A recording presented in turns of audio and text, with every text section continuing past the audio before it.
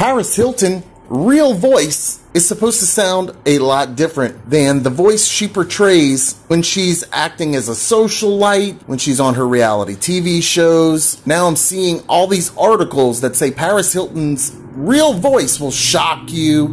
It's deeper, it doesn't drag on, it doesn't sound Valley Girl. Well, I tell you what, I found a clip on YouTube of Paris Hilton's quote unquote real voice from a snippet in her new documentary, which, if you have YouTube Premium, you can watch it. The documentary is called I Am Paris, and she showcases her real voice. Paris Hilton's real voice. Now, if you don't know who Paris Hilton is, her popularity kind of died off in the past five or so years. She's a super privileged, super successful in her own right uh, socialite. And maybe 15 years ago, give or take, her celebrity took off and she acted like a dimwit and she didn't care about anything in the world. I don't believe she even had to with so much money from her family's success, generational wealth. She also came out with a video that leaked that I'll just tell you this the lady has skills. She's got skills to pay your bills, and I recommend anyone to show that video to his girlfriend or wife to give her some pointers.